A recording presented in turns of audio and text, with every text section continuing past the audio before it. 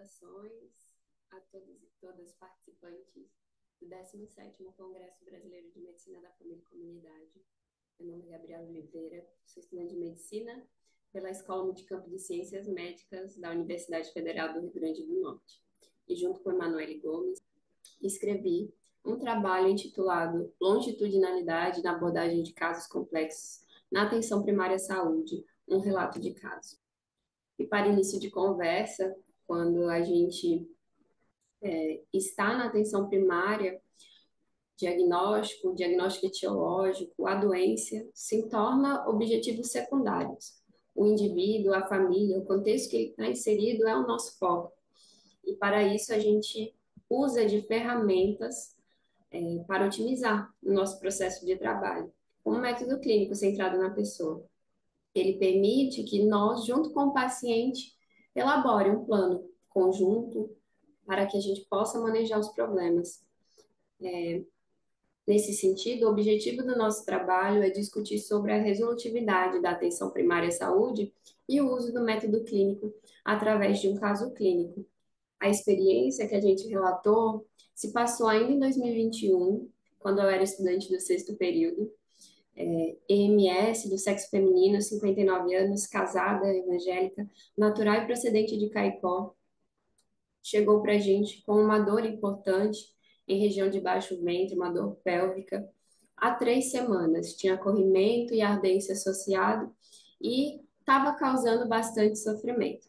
Nós fomos aplicando um método clínico e foi entendendo melhor quais eram as ideias que ela tinha acerca dos sintomas que ela apresentava. E ela referia que tinha um medo, porque a mãe dela tinha tido câncer de colo de útero no passado e ela estava preocupada que poderia ser, se poderia ser a mesma coisa.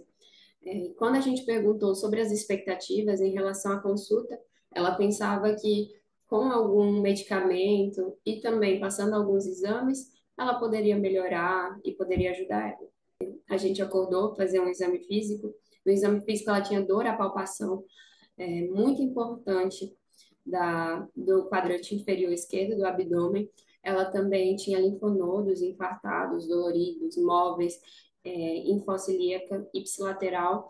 E ao exame especular, ela tinha hiperemia, lesões sangrantes em toda a parede vaginal, corrimento intenso e dor durante a introdução do espéculo, que fez com que a gente tivesse que interromper o exame antes mesmo de avaliar colo de útero. E nos planos, é, a gente acordou ter uma conversa naquele momento, a conversa foi é, terapêutica, e depois a gente acordou os planos fazer uso da ceftriaxona, azitromicina e metronidazol, considerando a possibilidade de uma doença inflamatória pélvica. Solicitamos ultrassonografia transvaginal, ela volta para a gente em agosto, com persistência da dor leve, mas ela considerava não tão importante e ainda sentia um ressecamento durante o ato sexual.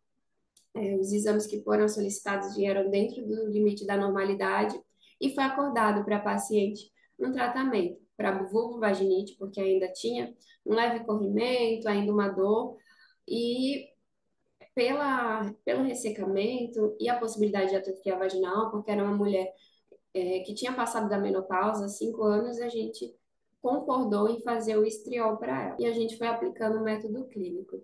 No segmento, a paciente retorna é, não para apresentar nenhum problema novo, mas para afirmar que o que tinha sido feito, tanto da é, entrevista, da conversa terapêutica, como também do tratamento clínico, tinha melhorado bastante os sintomas e ela se sentia aliviada. Por fim, a gente compreendeu que não foi preciso um diagnóstico etiológico da doença ou do problema que trazia a paciente, mas foi importante para a gente entender a experiência da paciente em relação à própria doença dela. Não seria tão interessante a gente apenas passar um tratamento clínico e deixar aquela pessoa ir para casa sem uma conversa terapêutica, por exemplo. A gente percebe que o acompanhamento longitudinal e a aplicação do método clínico centrado na pessoa permite uma integralidade, né? E que a gente possa fazer planos de cuidados que satisfaçam mais ainda o sujeito. Eu agradeço a atenção de todos, essas foram as nossas referências e até a próxima.